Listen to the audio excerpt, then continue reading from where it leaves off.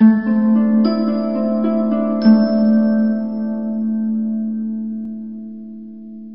and welcome to the how-to guide brought to you by NetAngel. In this episode we're going to talk you through Roblox. In episode 2 we're going to show you how to set up the security and privacy settings. Using your desired Internet Explorer, navigate to roblox.com.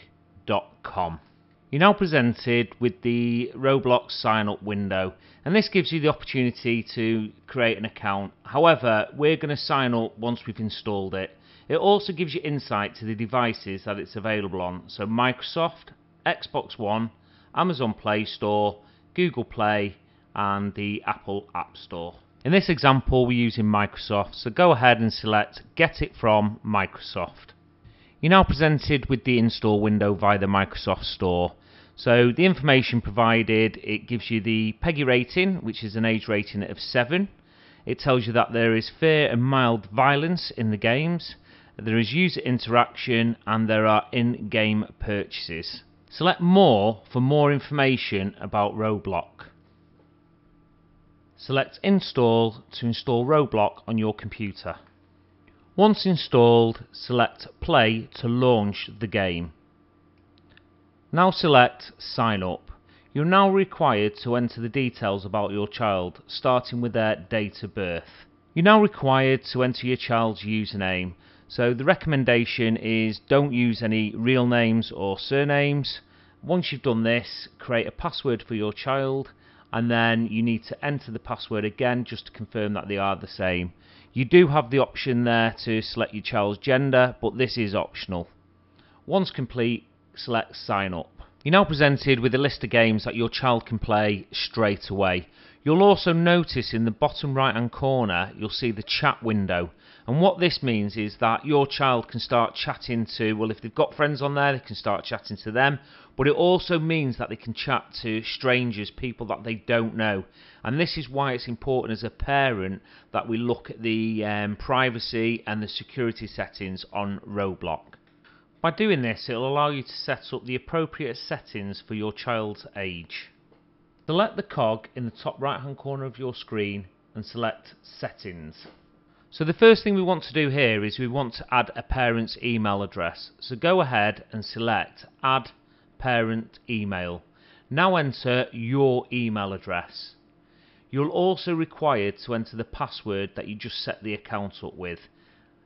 Once done, select Add email. You now receive confirmation an email has been sent for verification. You need to open the email and then you need to select verify to confirm that it is the correct email address. So now it'll open up your default internet browser and you'll receive a message saying thank you along with a free gift. So what you need to do now is go back to the Roblox game and then you'll see there it still says not verified. So if you go back up to the cog in the right hand corner and click on settings once it's refreshed you'll see now it says the email is now verified. Let's go ahead and set up the security settings. So the first thing we're going to do is configure step verification. Improve your account security. A code will be required when you log in from a new device and to enable this it's really simple you just select the slider switch until it turns green and this will enable it and you'll get confirmation to say this has now been enabled and you'll also receive an email. We now want to go ahead and enable the account pin. This is a great feature as it allows you to set up a PIN number which is required if you want to change over any of the security or privacy settings. And this means that your child can't accidentally change the settings over without you being aware. They will need a PIN number to do this. So go ahead and enter a PIN number, confirm your PIN number and click on add and success. There you go. So now click on OK and what you will find in the top corner there you'll see a padlock which means that a pin number has now been enabled and you'll need to enter the pin now should you require to change over any of the settings so we're now going to talk you through account restrictions so go ahead and select the slider to enable account restrictions you are now required to enter the PIN number that you set up to allow you to edit these settings. Select Unlock. So go ahead and select privacy. Now, enabling account restrictions will lock an account's contact settings so no other user can send messages, chat in-app or in-game, or find the account by its phone number. None of these contact settings can be individually adjusted when account restrictions are turned on. So as you can see, all these settings have been defaulted to no one. By disabling the account restrictions, it allows you to set up custom settings within privacy.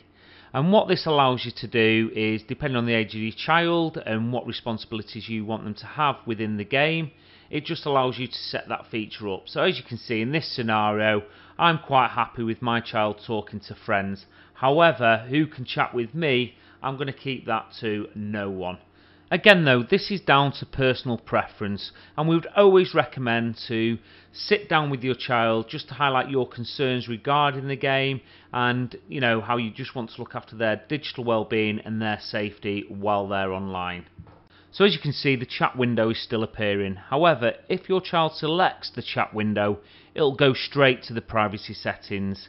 And as we've set up a PIN, these won't be able to be changed over without the child knowing the PIN number. Thank you for watching. Subscribe to our YouTube channel for more parental how-to guides or leave a comment on what you'd like to see guidance on and we'll see what we can do. NetAngel content is designed for parents by parents.